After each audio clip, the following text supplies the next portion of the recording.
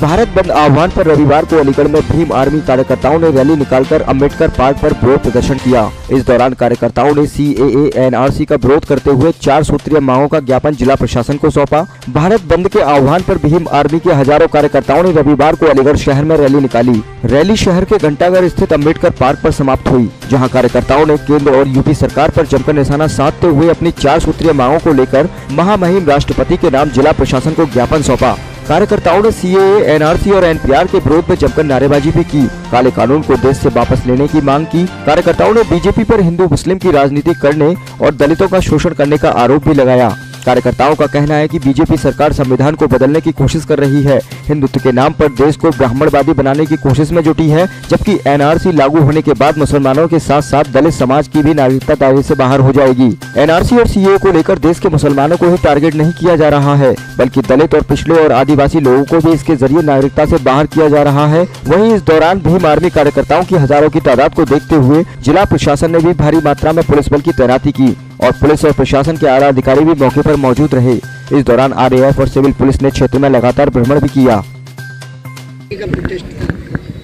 ये थोड़ा हमारे संविधान के साथ में थोड़ा छेड़छाड़ की जा रही है। उसके ऊपर हम लोग यहाँ पर सम्मिलित हुए हैं, संगठित हुए हैं और हम लोग उसी के उपलक्ष्य में यहाँ पर धरना प्रदर्शन किया और थोड़ा उसी के लिए हम लोग एक साथ इकट्ठे होकर के और एक साथ सभी को मिल कर के ये सब किया हमने। और हमें अच्छा लगा कि पुलिस प्रशासन ने भी हमारा थोड़ा साथ दिया और हम यही चाहते हैं कि हमारे संविधान के साथ कोई भी छेड़छाड़ ना हो आगे। मांगे तो हमारी यही है कि मतलब कि कोई भी जैसा आरक्षण है आरक्षण के साथ जो आरक्षण हमें पहले मिला हुआ है वही रहे उसमें कोई छेड़छाड़ ना हो। क्या सरकार संविधान को बदलने की कोशिश कर रही है? जी बिल्कुल।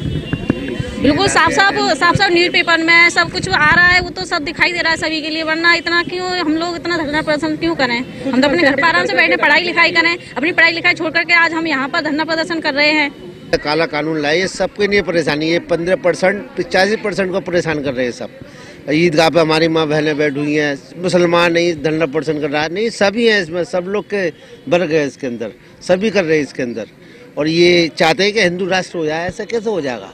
हम हिंदुस्तान के वासी है कि हम पाकिस्तान से आए हम तो हिंदुस्तान के ही हैं। तो हमें ये कहते हैं क्या? आप पाकिस्तान जाइए। तो हम क्यों जाएँ? भाई आप जाइए ना पाकिस्तान। पाकिस्तान का नाम ले रहे तो हम क्यों जाएँ? आप जाइए इनसे कहिए कि ये जाएँ। आपको माध्यम से कहना कहना चाहता हूँ इनसे कहिए कि आप जाइए। हम तो सब एक हैं।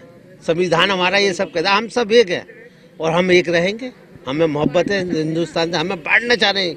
बिल्कुल क्लियर धर्म में जातिवादी में सब में बांटना चाह रहे हैं। देखिए आज भीम आर्मी ने जो है इन्होंने भारत बंद का आह्वान किया था और इनकी कुछ मांगे थी। उसको लेकर इन्होंने राष्ट्रपति को प्रधानमंत्री को और गृह मंत्री को संबोधित ज्ञापन सौंपा है जिसमें इन्होंने N N R C C A आदि के विरोध के संबंध में है तथा जो आरक्षण को समाप्त करने की जो कोशिश के बारे में इनके द्वारा कहा जा रहा है सरकार द्वारा उनके विरोध के स्वरूप में इन्होंने ज्ञापन सौंपा है।